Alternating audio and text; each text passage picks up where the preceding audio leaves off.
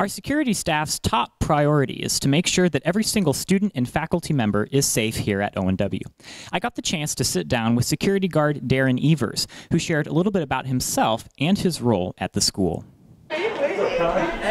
Evers joined the Raven staff about two months ago, but he knew he would be joining a familiar staff even before he arrived, as he has a family connection with Debbie Evers. She, yeah, she is my mom, and of course, my mom has been. She's been here ever since school opened, so she's been here a long time. You know, everybody up here knows her. Everybody loves her. She starts the day off very, you know, positively, and just you know, has a good vibe going throughout the whole school.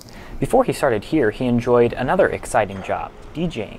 Doing that for nine years, I mean, that, that was fun because, you know, the type of atmospheres for the parties and the clients, you just never knew what you were going to get. You always got to be interacting with people, just like I do here.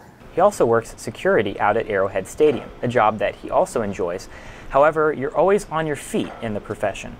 I do roughly around 6,000 steps a day. And I mean, that's crazy because you got to think about, too, you know, going up and down the stairs, walking the halls. Even though he's only been here for a few months, he doesn't see himself changing professions anytime soon. I, I really enjoy it here. I, I don't see me going anywhere else. Make sure to say hi when you see him in the hallways. For ONW Now, this has been Ben Whitney.